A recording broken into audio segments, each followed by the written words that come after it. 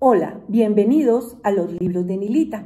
Hoy vamos a hablar de una novela, La bastarda de Estambul, de una autora que ya hemos visto aquí en mi página, que se llama Elif Shafak. Elif Shafak nace en Francia, vive con su madre, que es una diplomática turca, vive en Madrid, en Amán, y regresa a Turquía a estudiar en la Universidad Técnica de Ankara Relaciones Internacionales en Medio Oriente.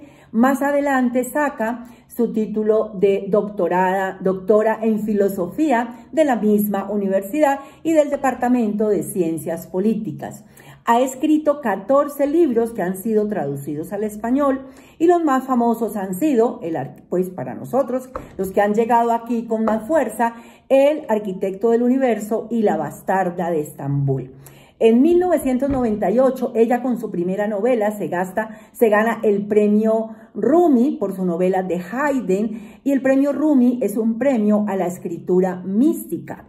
Por esta novela de la cual vamos a hablar hoy, Elif, ha sido acusada de insultar al pueblo turco según el artículo 301 de la Constitución turca y la han acusado porque ella en este libro habla de algo que los turcos nunca han querido reconocer, que es el genocidio armenio, que más o menos empieza en 1984 y se alarga durante varios años 1915, 16, el arco que los turcos jamás han querido reconocer. Afortunadamente, ya dos veces ha sido eh, cancelado, ha sido archivado, han sido archivadas estas acusaciones. ¿De qué trata pues nuestra novela? Bueno, esta es una novela de mujeres y nos habla de las diferentes clases de mujeres que viven en la Turquía actual, de las mujeres que conviven pero que han sido marcadas por la religión, por el nacionalismo, por los tabúes, por las prohibiciones y por este genocidio tan aterrador.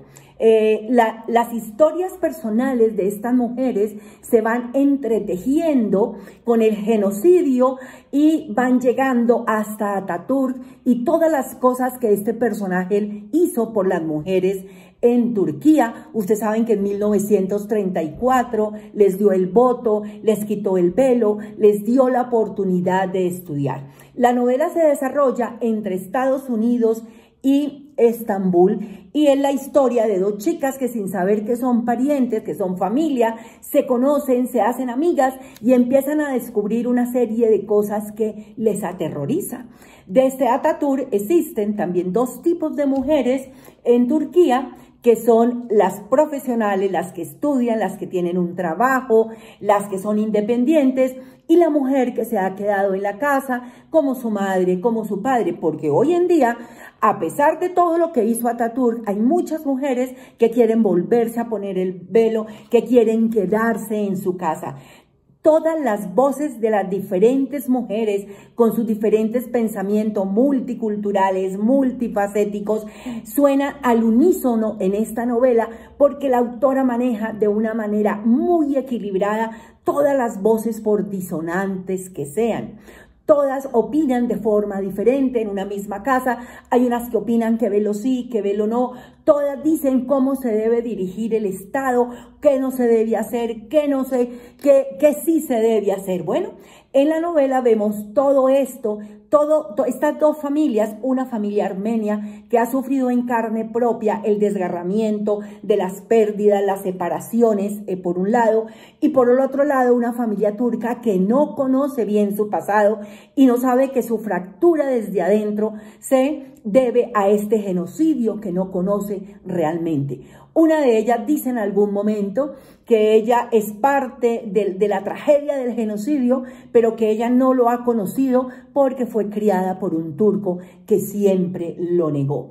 Eh, lo, lo, hay muchas cosas fascinantes. Realmente para nosotros occidentales es muy difícil entender esta cultura tan multicultural, pero de las cosas que a mí me parecen importantes del libro es que ella nos muestra cómo la mujer turca en una sociedad machista no se siente víctima porque ella ha sabido entender cuál es su papel, no, no se involucra, no pelea, sino que lo acepta y trata de hacer las cosas bien. Eh, Estas dos chicas que se conocen y no saben que son familia van descubriendo esta realidad dolorosa y como ya les dije, es una novela de mujeres. Es una novela donde es importante la mujer, donde es importante la comida. Ustedes saben que para los turcos la comida es importantísima. Dicen que más o menos hay por lo menos 80 clases de sopas en Turquía. Bueno, la comida es supremamente importante. Los orientales son un pueblo de narradores y ese es el estilo de Liz Shafak. Es lo que la hace tan encantadora. Es una narradora que viene de un pueblo acostumbrado a narrar, pues recordemos las mil y una noches, pero el oriental es un pueblo que también sabe escuchar.